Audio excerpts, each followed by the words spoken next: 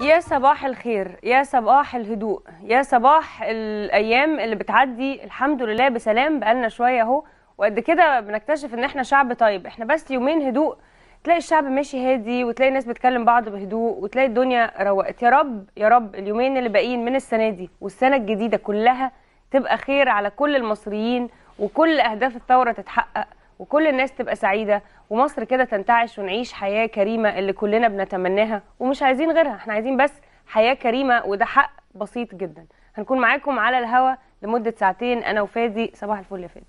صباح الخير يا عايدة وصباح الخير على كل مشاهدي إن تي إن وشبكة إن تي إن وقناة نايل لايف في كل حتة في الدنيا. حلقة الخميس 29 ديسمبر 2011 فاضل يومين والسنة تخلص كل سنة وإنتم طيبين بمناسبة 2012 ويا رب اليومين الباقيين يعدوا على خير نهاية أسبوع سعيدة على الجميع.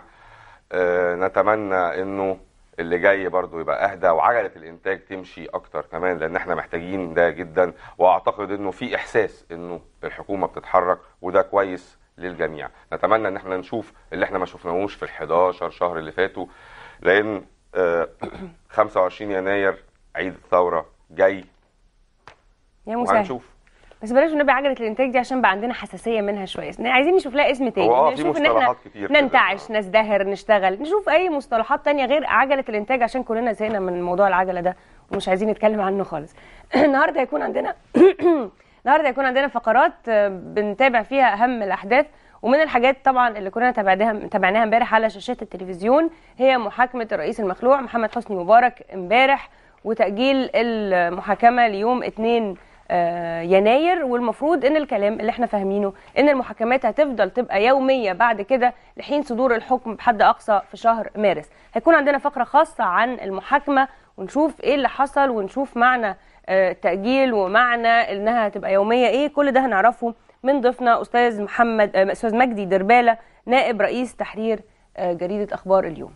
ومع نهاية أسبوع آه، هادية نسبيا يمكن من فترة يمكن من شهر 11 وإحنا لغاية دلوقتي الدنيا كانت سخنة يمكن ده أول أسبوع الدنيا تهدى شوية. هن- لازم نتكلم عن البورصة ووضعها إحنا بنتكلم عنها دايما في يعني في أول أسبوع وفي آخره عشان نعرف أخبارها إيه؟ إيه التوقعات؟ حصل إيه في الأسبوع؟ لأن ده يهم الجميع. هيكون معانا أستاذ محمد وجيه خبير الأوراق المالية والتداول. هنتناقش معاه في تفاصيل أسبوع آه، للبورصة المصرية. عندنا فقرتين كمان واحدة عن مجلة آه، أدب ونقد اللي اتكلمنا عنها قبل كده اللي هي محتاجة حاجة زي من 5 ل 10000 جنيه عشان المجلة تقدر تطلع بشكل دايم لأن المجلة فعلا مجلة مهمة آه، لكل الأدباء وكل الناس اللي مهتمة بالأدب والثقافة. ففي أخبار إيجابية عن المجلة النهاردة هنعرفها من آه، الشاعر حلمي سالم آه، رئيس تحرير مجلة أدب ونقد عشان نعرف التفاصيل. وختاما كمان هيكون عندنا آه، فقرة مع أستاذ محمد أبو حامد نائب رئيس تحرير آه، نائب رئيس آه، حزب آه، المصريين الأحرار.